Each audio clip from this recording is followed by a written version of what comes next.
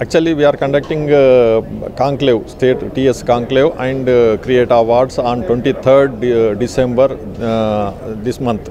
And uh, we are uh, al- almost uh, in uh, CREDAI Awards. This is the third edition, and we received almost 121 nominations.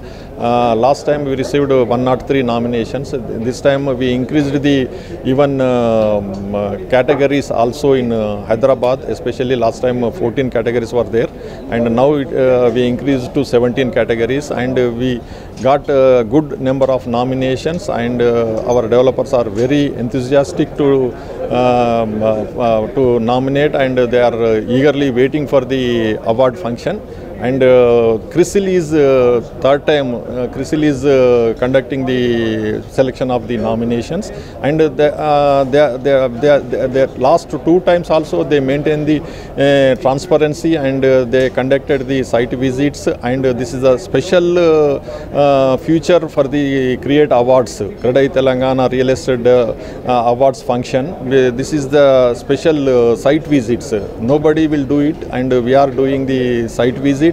Then uh, the selection of the uh, projects uh, also definitely de- de- definitely be- better way, and uh, jury will be there, and uh, that's why everybody is enthusiastic. And this awards function with awards function and the selection of the nominations also definitely the in, fire within and that what, whatever we given tag that 100 percentage it is and it's proven in the within the builders that uh, create the competition and with that definitely better pro, uh, projects uh, come up and uh, better uh, good quality products uh, come up and uh, that will be ultimate benefit beneficiaries uh, purchaser.